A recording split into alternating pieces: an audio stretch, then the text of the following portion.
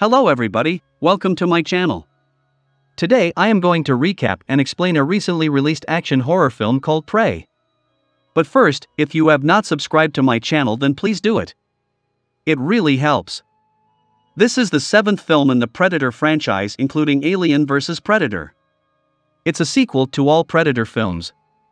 It starts in the year 1719 in the Native American land of the Comanche tribe. We see a teenage girl Naru who aspires to be a hunter. The patriarchal norms here prohibited her, but she was adamant. She had raised and trained a dog by the name of Sarii who was very loyal to her. One morning, while practicing with her axe, Naru saw a deer. She decides to hunt it. As soon as she took up a position, a loud thunderous noise from the sky caused the deer to run. Naru and the dog chased after it, but it was fast. Dog's leg got trapped in a bear trap, hence it started screaming. Naru released the dog and applied some herbal medicine to its tail, which greatly reduced the dog's pain. She wondered how the trap got here in the first place, who placed it. Here she again heard loud thunderous noise from the sky and followed it to the edge of a cliff. There we see a predator ship arriving. Predators are species who love to hunt, Earth was their favorite planet.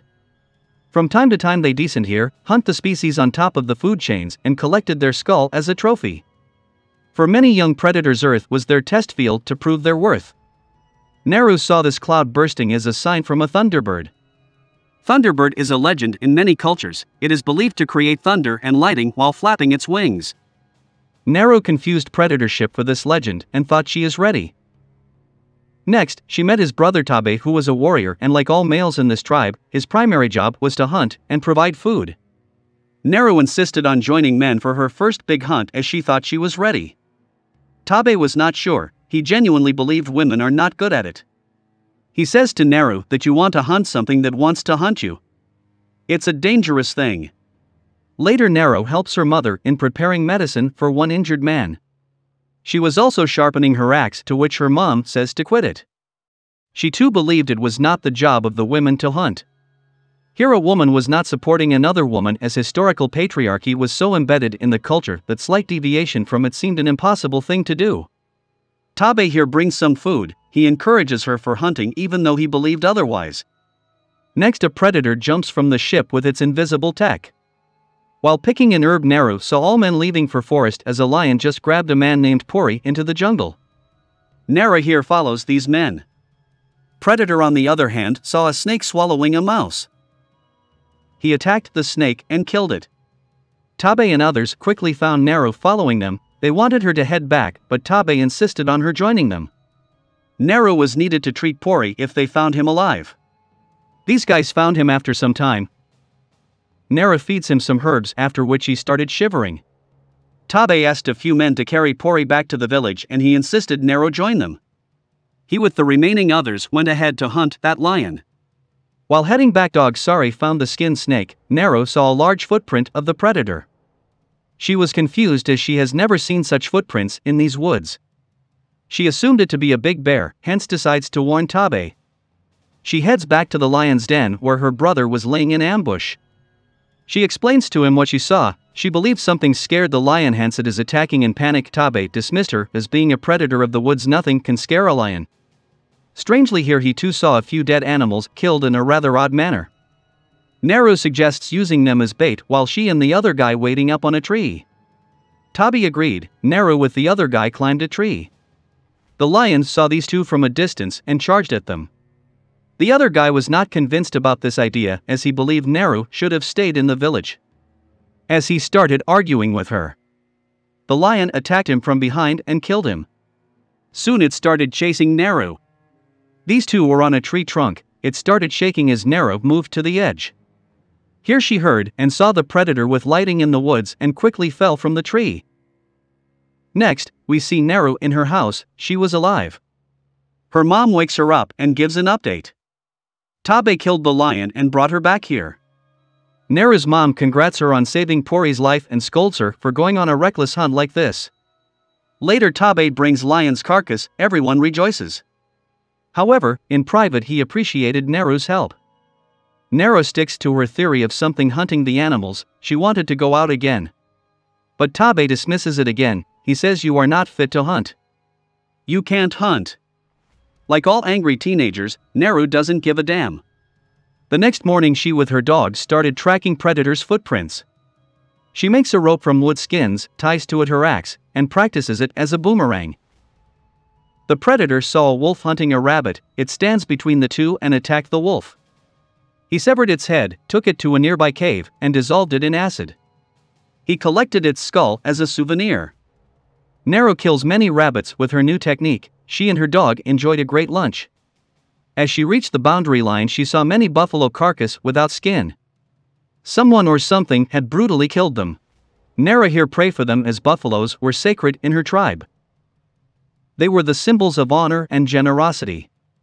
She finds a cigar here. Next, Naru slips into a swamp which starts to absorb her. Predator also arrives at the buffalo site, he too saw a cigar. Naru threw her axe with force to a nearby bush, hooked it, and came up somehow. Clearly, this scene is a throwback to the original Arnold Schwarzenegger scene in the first Predator film.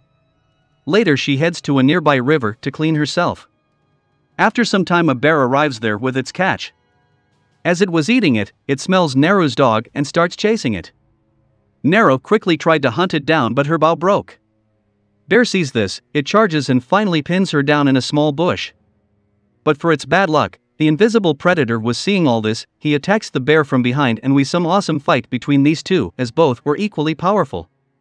Naru runs away from here like anything, she saw the predator killing the bear with bare hands. She learned one or two lessons on hunting as clearly she was not fully ready. Men from the village were searching for Naru on Tabe's order. Upon finding her, Naru tried explaining what she saw, but they dismissed it. Obviously, believing in an invisible beast is a tough ask. A fight broke here as Naru was in no mood to go back. Predator was seeing all this, it assumed these men as the apex predators as their primitive weapons red flagged it. Men captured Naru, tied her hand, and as they started heading back, they heard the predator's roaring voice. Men took up the position, one went ahead to check, but nothing was visible. Naru begged him not to go, but he didn't listen. We see three laser guided pointers on his body, the predator quickly shreds him to pieces with metal arrows. The remaining men randomly release their arrows in the open field, one of which hit the predator. Finally, everyone saw this creature, they attacked it, but obviously it was too much for them. Naru smartly cut herself loose and started running away from here. After killing all those men, Predator starts chasing Naru. Soon Naru's leg gets trapped in a bear trap, she tries escaping but fails. The Predator comes very close to her, saw her trapped, and walks away. He was here for the thrill of hunting, not for random killings. Naru was unarmed and trapped, hence, she was not worthy of his prey. We see a bunch of French frontier men with their guns screaming at Naru as they were the ones who were laying traps all across the woods. They took Naru to their camp, where she saw one guy smoking a cigar. She understood these guys killed their scared buffaloes as it was a common tactic back in the day to deprive indigenous people of their livelihood. One translator tells Naru to describe her encounter with a predator, his weakness, and strengths. He had killed many of their men as well, they wanted to hunt it down. Naru tells him nothing. These men have captured Tabe, they make him bleed and tied him with Naru as bait to hunt that predator. Naru knew Predator won't hunt the bait hence she was relaxed.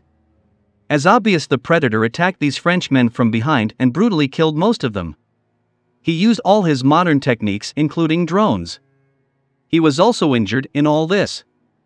On the other hand, Naru and Tabe escaped. They reached the campsite where Naru killed all remaining French men, she released her dog. Then she saw the translator who begged for his life. He was ready to teach her the usage of a gun in exchange for medicine. Naru agreed, she took his gun and learned how to use it. She fed him the medicine which lowered his body temperature. When the predator arrived here, this French man was completely invisible to him on his thermal radar as the temperature was down. Naru sensed another weakness of this creature here. But for Frenchmen's bad luck, Predator stepped on his leg, he screamed and got slaughtered in return.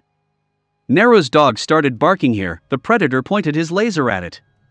Tabe suddenly attacked the Predator from behind and threw away his helmet. The lasers were now pointing at a tree when the Predator released the arrows, thinking it will hit the dog, instead, it hit the pointers on the tree. This means these metal arrows followed the pointers, not the subject. Somehow, this Predator didn't know this flaw.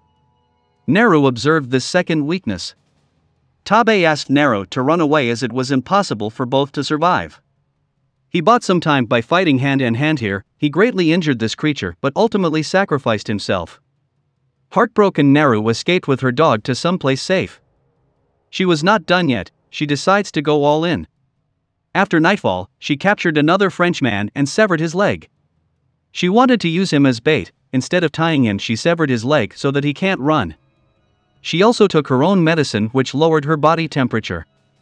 The predator walked right past her without sensing her. Naru shot clearly at the predator's neck, causing a grave injury. She quickly stole his helmet and ran like hell. She placed it near the quick mud spot in such a way that once the predator occupies that spot it comes clearly in the line of sight of lasers.